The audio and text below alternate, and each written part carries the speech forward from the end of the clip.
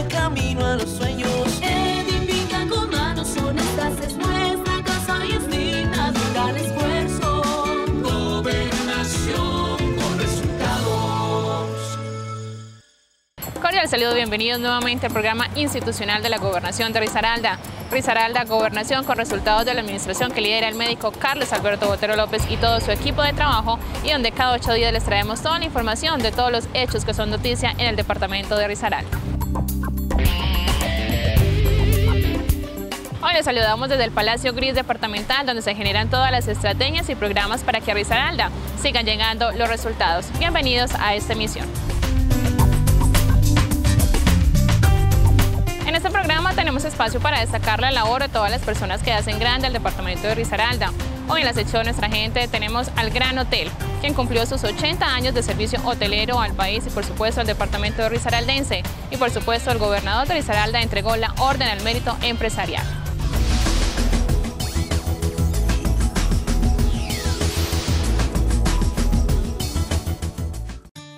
En la historia grande de Pereira también se inscribe el Gran Hotel, que recientemente conmemoró sus 80 años de fundación y por ello el gobernador Carlos Alberto Botero López condecoró a sus directivas con la medalla Orden al Mérito Empresarial. Aún hoy conserva en su fachada su estilo arquitectónico original de Art Deco y ha sido testigo mudo de grandes gestas de la ciudad y de ilustres visitantes, quienes han escrito páginas de oro de nuestra historia.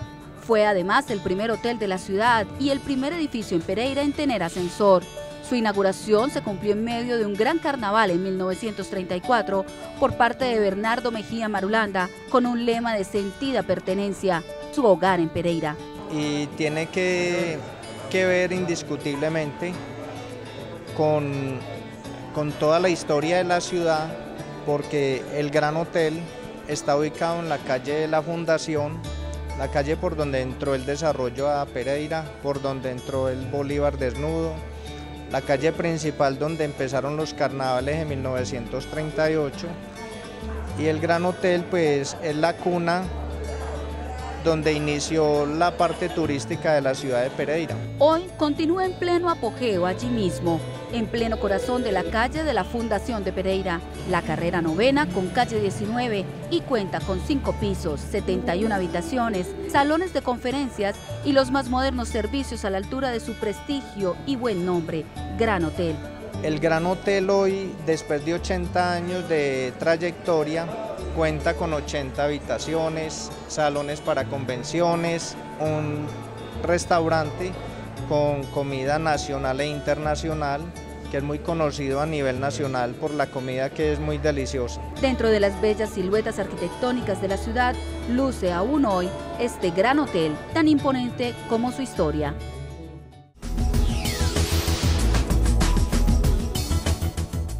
Hoy el gobernador de Risaralda, Carlos Alberto Botero López, se presenta en la sección ante la comunidad, invitando a todos los risaraldenses para que participen activamente de la rendición de cuentas vigencia 2013. Risaralda avanza con resultados. La cita es este jueves 8 de mayo a las 9 de la mañana en el Centro Cultural Lucy Tejada.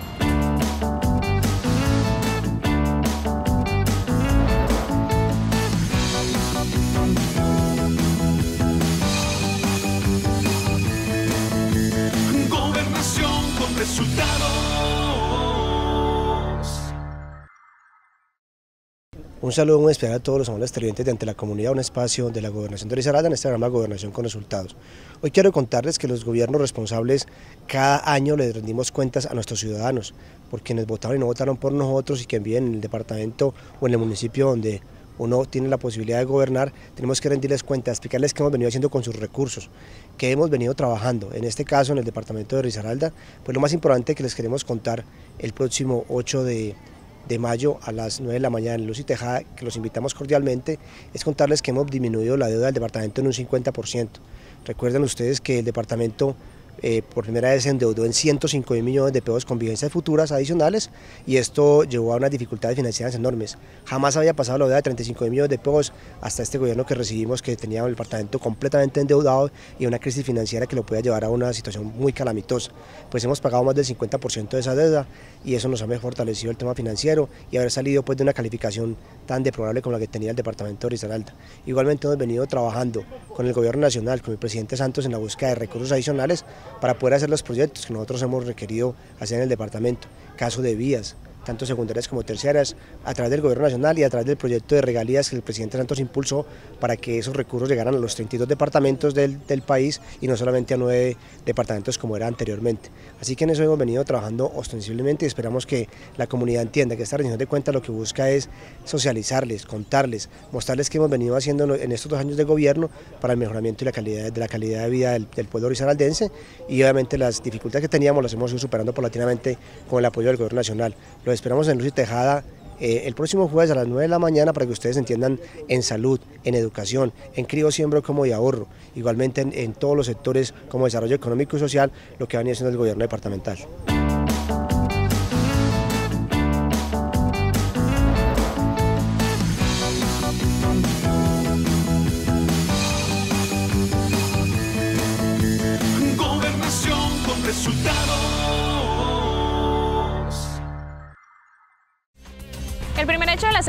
Gobernación con resultados tiene que ver con la adjudicación del contrato para el mejoramiento de la vía Pereira-Alcalá, obras que iniciarán a mediados del mes de mayo. De esta manera, siguen llegando los resultados a Risaralda.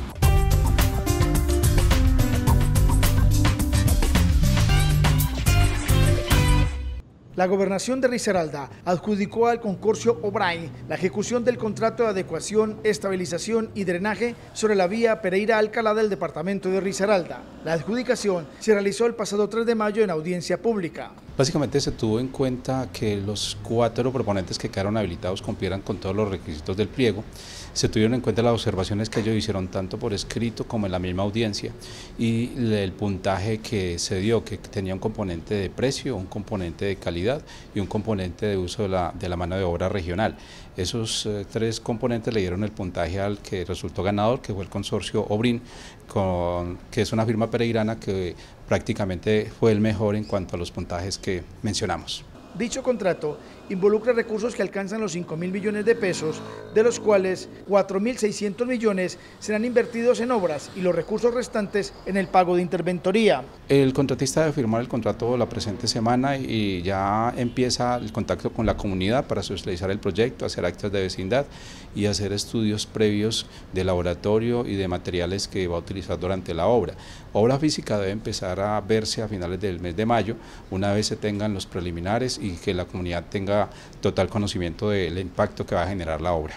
En dicha zona se recuperará la carpeta alfáltica por lo menos en 12 de los 15 kilómetros que tiene el tramo de la vía Pereira-Alcalá, un sector que está muy deteriorado por el paso del tiempo, volumen de tráfico y por los efectos provocados por las pasadas olas invernales. Igualmente, es un tramo muy importante para el flujo vehicular entre los departamentos de Risaralda, Valle del Cauca y Quindío. Llega el espacio diseñado para nuestros niños y niñas de Risaralda. Hoy nuestros amiguitos nos contarán sobre el programa de complementación nutricional, el cual es liderado por la Gobernación de Risaralda.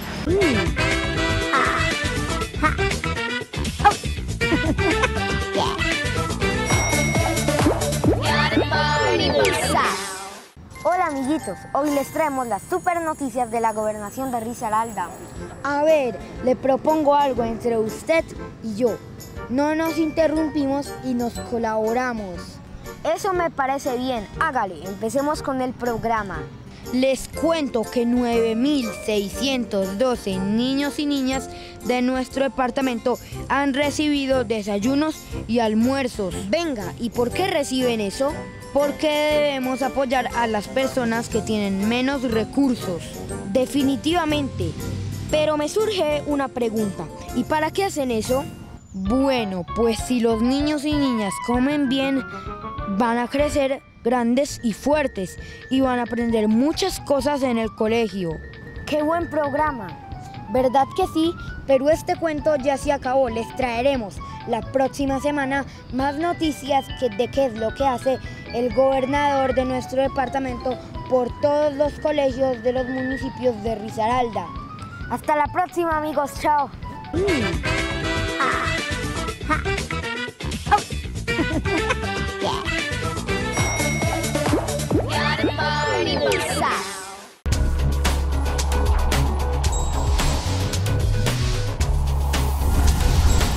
Este jueves 8 de mayo, a partir de las 9 de la mañana, en el Centro Cultural Luz y Tejada, el gobernador Carlos Alberto Botero López realizará la audiencia de rendición de cuentas vigencia 2013, denominada Risaralda Avanza con Resultados. El objetivo de esta rendición radica en fortalecer la participación ciudadana y generar un ambiente de transparencia a la administración pública hacia los risaraldenses. Usted se puede inscribir a través de la página web www.risaralda.gov.co. En los dos años que lleva la actual administración, presidida por el mandatario Carlos Alberto Botero López, su principal compromiso ha sido disminuir la deuda del departamento, que recibió al inicio de su mandato y que a la fecha ha reducido la carga fiscal del departamento a través de pagos en 47.094 millones de pesos. Desde la Secretaría de Hacienda se continúa dando un manejo responsable a la carga fiscal mediante un proceso de mejoramiento del perfil de deuda la cual se recibió al 31 de diciembre del 2011 en 105.739 millones de pesos.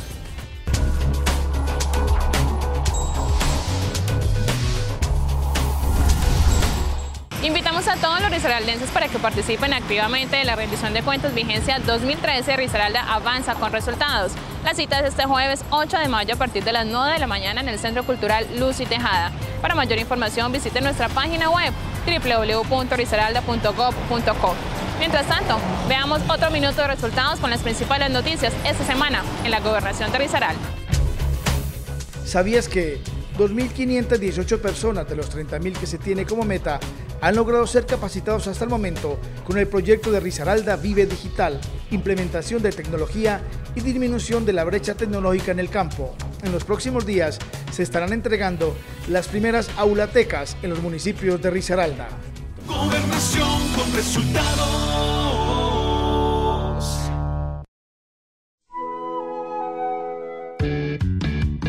Es hora de pagar el impuesto vehicular. No deje pasar más tiempo. Cancele y evítese sanciones, multas e intereses. Pague a tiempo. Fecha límite de pago, 30 de mayo. Gobernación con resultados. Gracias por seguir con nosotros en Risaralda, Gobernación con Resultados. Para esta administración es muy importante la opinión y las consultas de los ciudadanos.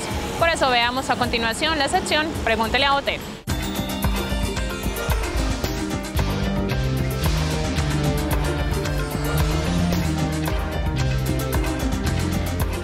Señor gobernador, ¿qué pasa con el hospital de Apía?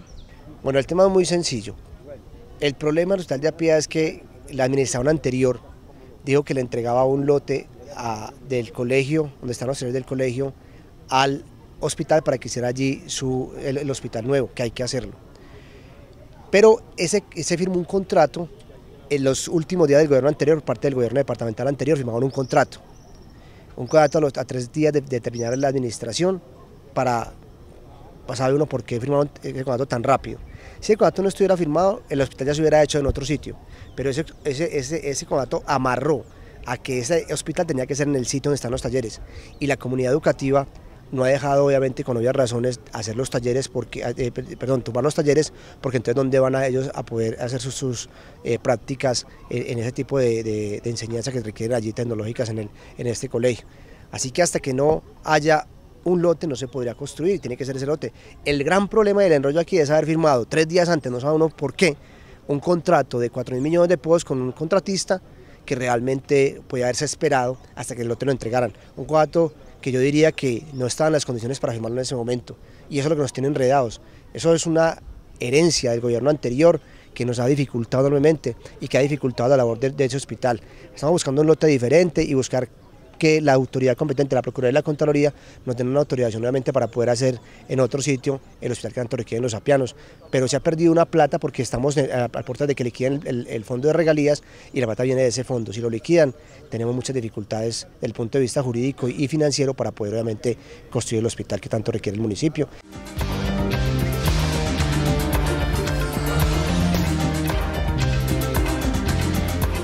Señor gobernador, ¿cuándo empiezan los trabajos de pavimentación de la vía Pereira-Alcalá. Bueno, la verdad es que ha sido un calvario este tema de la pera pera Alcalá por el problema de cambios legales que ha habido en el país.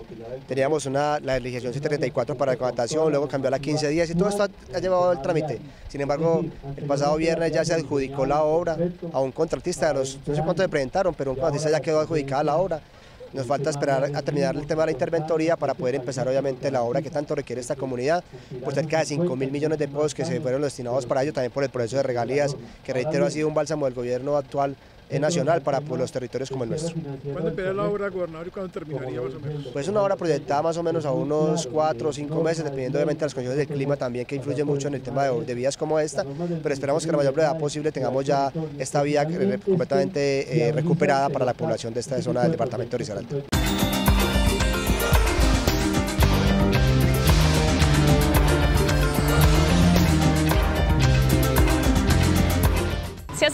Número 15 del evento de moda más importante de la región, Eje Moda 2014, los próximos 15 y 16 de mayo en Expo Futuro.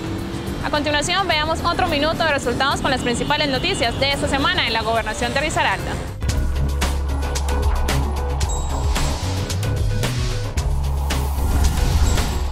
Por instrucciones del gobernador Carlos Alberto Botero López, los planes de contingencia para enfrentar un eventual fenómeno del niño deben ser la prioridad del Consejo Departamental de Gestión del Riesgo. También se solicitó un inventario completo de los acueductos comunitarios que hay en los municipios risaraldenses y un informe detallado de su actual estado y cómo pueden resultar afectados. Los próximos 15 y 16 de mayo llega la versión número 15 de Eje Moda, el evento de moda más importante del eje cafetero con proyección a nivel nacional e internacional. Este evento reúne a empresarios del sector de la confección y textil, accesorios, artesanías, joyería, cuero, calzado, insumos, servicios y diseños de moda, quienes comparten sus ideas, productos de 25 pasarelas en el centro de exposiciones de Expo Futuro. Luego del pasado Consejo Consultivo de Mujer, se lograron establecer tres diferentes consensos que logran darle un eje fundamental a la política pública de mujer y género en Risaralda. Oportunidades para lograr la autoeconomía, el empleo y la formación para el trabajo, vida sana y libre de violencias y finalmente empoderamiento para transformar la cultura, logrando mujeres visibles y educadas.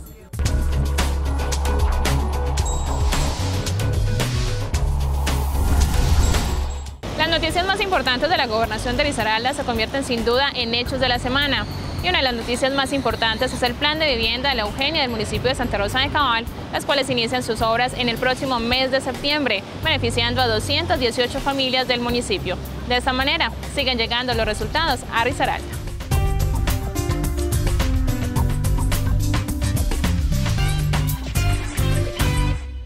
Septiembre comenzará la construcción del plan de vivienda La Eugenia en Santa Rosa de Cabal, el cual beneficiará a 218 familias. El proyecto se hará realidad después de cerca de ocho años, gracias a los recursos del sistema de regalías y al empeño del gobernador Carlos Alberto Botero López. En los días pasados fue aprobado por el local de regional ya un proyecto de, de regalías por más de 10 mil millones de pesos que involucra obviamente a Sovitas, involucra a Guática, involucra a Pueblo Rico y a otros municipios, pero un proyecto regional de vivienda.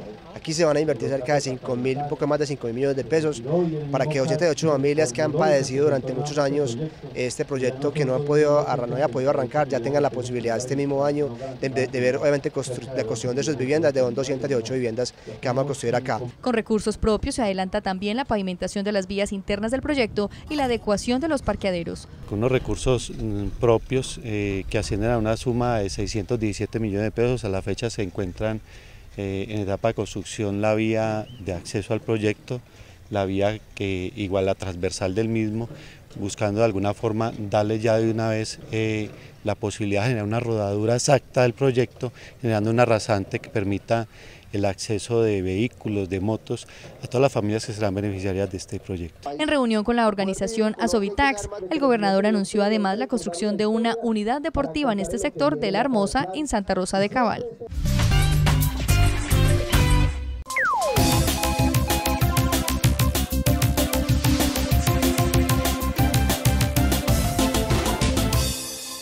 Risaraldenses como me les ha ido. Uy, yo les cuento que en estos días casi, pero casi me muerde un perro de esos que llaman de razas peligrosas, como los tales Bull Terrier, Pitbull y Doberman. Imagínense que iba por todo el centro de mi bella Pereira, cuando un perro de esos lo llevaban dos pelados y el bendito animal no tenía bozal. Menos mal que yo en la finca practico varios deportes que me mantienen el físico al día, como la vuelta al potrero, súbete al árbol más alto y brinca brinca. Después de ese susto tan berraco, le pregunté sobre el tema a un amigo de la gobernación de Risaralda, experto en la tenencia de perros. Imagínese que existe hasta una ley. Hmm, si mi memoria no falla, es la ley 746 de 2002, que establece normas que deben cumplir los dueños de estos animales. Según la ley, en la calle, todo perro de raza peligrosa debe llevar correa o tradilla y bozal. Si va sin bozal, puede llamar a la policía o informar sobre este hecho al CAI más cercano. La policía puede trasladarlo al CAI y hacerle al propietario del animal una notificación que luego se envía a la Secretaría de Gobierno, donde se inicia proceso sancionatorio contra ese irresponsable. Ojo, la investigación puede terminar con una sanción que inicialmente puede ser el pago de una multa, pero que puede llegar hasta el decomiso del animal. Como si fuera poco, los propietarios deben ubicar el aviso en la casa para que adviertan a la comunidad de que allí vive un animal de raza peligrosa. Mejor dicho, con tanto peligro, ¿no creen que es mejor adoptar un perrito bien cariñoso que gastarse la platica comprando un animal de raza peligrosa? Y no se les olvide, siempre que saquen a pasear cualquier perrito, lleven la bolsita para recoger los excrementos. Recuerde que esos excrementos pueden contaminar el medio ambiente y traer enfermedades de salud pública. También es importante que mantengan desparasitado al animal y el carnet de vacunación a la mano. Miren que no es por ganas de molestar. Más o menos en un año se pueden presentar entre 2.500 y 2.800 mordeduras por animales potencialmente transmisorias de la rabia. Piense ciudadano.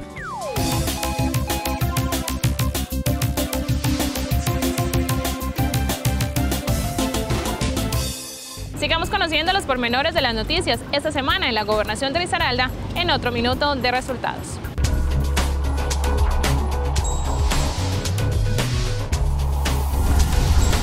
Los diputados, el gobernador Carlos Alberto Botero y los secretarios de despacho cedieron sus cargos y otorgaron la palabra a los niños y niñas del departamento para conocer desde su perspectiva la visión de lo público en la infancia de la región.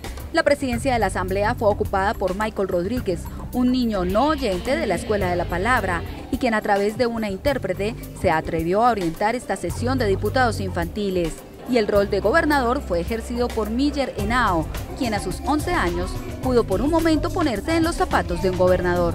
Niños deportistas risaraldenses compartieron con el gobernador del departamento, Carlos Alberto Otero López, con ocasión de la celebración del mes de la niñez. Durante el encuentro, los niños entre 6 y los 12 años escucharon las experiencias como la del deportista del campeón mundial junior y subcampeón mundial juvenil de levantamiento de pesas, John Jairo Serna, quien les hizo el énfasis en la disciplina y constancia en los entrenamientos para poder alcanzar grandes triunfos y les contó experiencias de sus viajes a otros países.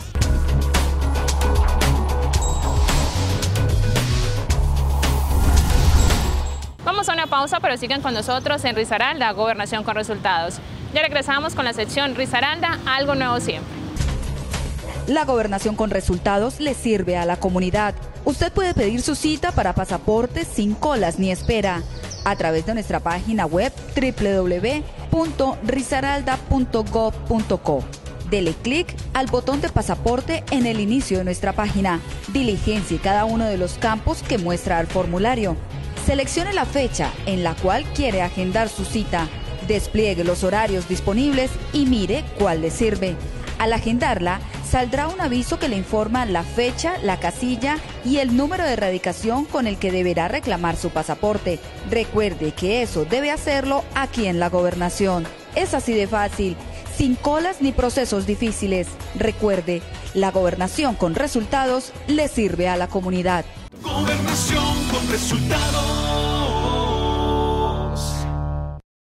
Quiero hacer un reconocimiento muy importante a todas las madres del departamento de Risaralda, agradecerles de verdad la labor que hacen día y noche por eh, hacer grande este departamento, por educar a sus hijos, por hacer los pactos de paz que nosotros estamos promulgando en cada hogar risaraldense y ojalá cada hogar colombiano, por promulgar el respeto por los demás a sus hijos, porque quien respeta al otro no le hace daño.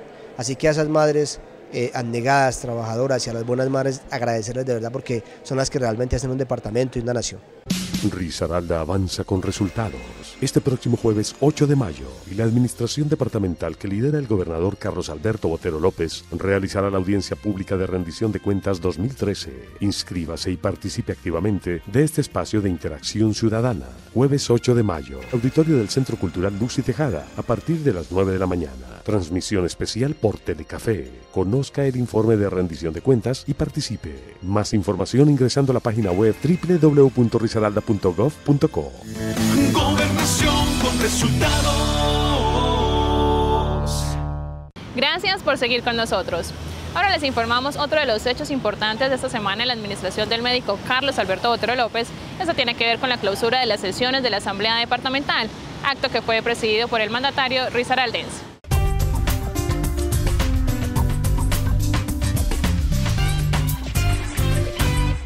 En el marco de la clausura de las sesiones ordinarias de la Asamblea Departamental, el gobernador de Risaralda, Carlos Alberto Botero López, fue enfático en afirmar que desde el inicio de su administración ha mediado y gestionado ante la comunidad y el gobierno nacional para lograr la construcción del nuevo hospital de Apía, que quedó aprobado desde finales del 2011 en la pasada administración y que por líos jurídicos no se ha hecho realidad. Se espera que este año quede solucionado el tema para hacer realidad el hospital que requiere el municipio de Apía. Hemos hecho todo lo posible por subsanar ese tema del, del- del lote. Eh, hemos hablado con la gente que hizo la acción popular en su momento. Después no, no han querido atender al gobierno departamental en la búsqueda de una solución para el tema de talleres. Así que la búsqueda es ya netamente jurídica, es un enredo jurídico que tenemos que, a través de organismos de control, buscarle soluciones y el acompañamiento de ellos para buscar una solución jurídica y poder hacer el hospital en otro sitio distinto al de los talleres del colegio. El interés de la administración departamental es solucionar prontamente la situación para avanzar en la construcción del nuevo hospital que ya cuenta con recursos económicos aprobados por regalías. Hoy en Risaralda, algo nuevo siempre, tuvimos una aventura cargada de mucha adrenalina. Desde el Jardín Botánico de la Universidad Tecnológica de Pereira estuvimos practicando el canopy y alguna serie de juegos de cables. Véanlo, porque en Risaralda hay algo nuevo siempre.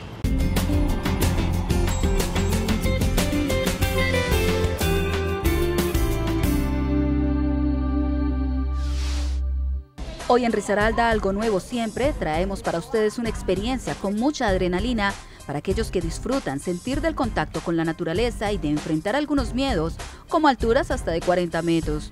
Hoy nos trasladamos al Jardín Botánico de la Universidad Tecnológica de Pereira. Acompáñenos.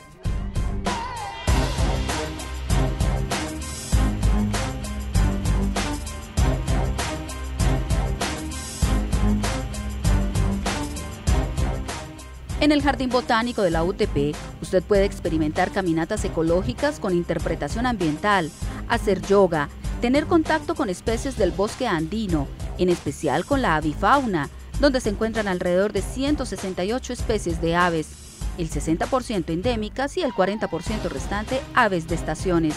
En los 1.9 kilómetros de recorrido, usted se puede encontrar con el barranquero, con zorros, serpientes y algunos anfibios. Aquí en el Jardín Botánico, en primer lugar, eh, se realizan caminatas ecológicas. Eso lo suelen realizar en familias o en grupos también de estudiantes. También tenemos lo que corresponde a deporte de aventura en Canopy. Eh, realizamos también las actividades de vacaciones recreativas eh, con niños entre los 4 a 12 años. Eso corresponde, digamos, a las vacaciones de mitad de año y de fin de año también. Eh, y por último tenemos también lo que corresponde, por ejemplo, a programas como Yoga por la Paz. Pero no todo se queda en una sencilla caminata ecológica, pues el Jardín Botánico también tiene para ofrecerle una experiencia por los aires. Son tres las estaciones que deben enfrentar los visitantes que gozan de la adrenalina y qué mejor manera que disfrutar con sus amigos o familia de un juego de cables y canopy en contacto con la naturaleza, enfrentando las alturas del bosque y pruebas desafiantes.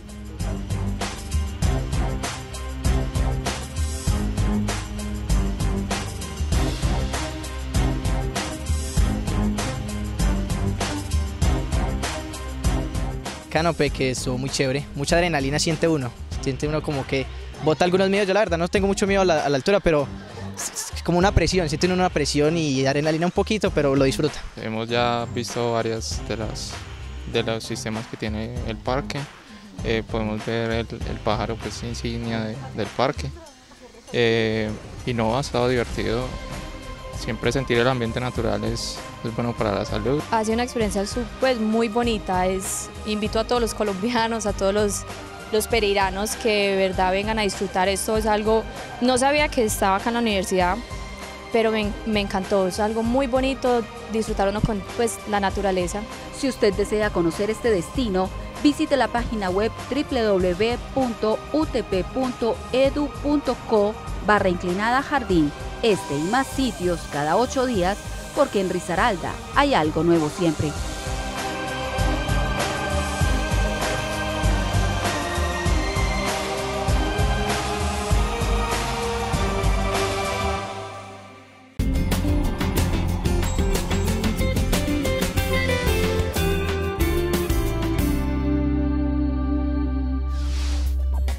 esta manera hemos llegado al final del programa institucional de la Gobernación de Risaralda. Risaralda, Gobernación con resultados donde cada ocho días les traemos todos los hechos que fueron noticia en la administración del médico Carlos Alberto Botero López y todo su equipo de trabajo. Recuerde que si quiere ponerse en contacto con nosotros debe hacerlo a través del correo electrónico programatv.risaralda.gov.com. Para todos ustedes que tengan una excelente semana y bendiciones para todos.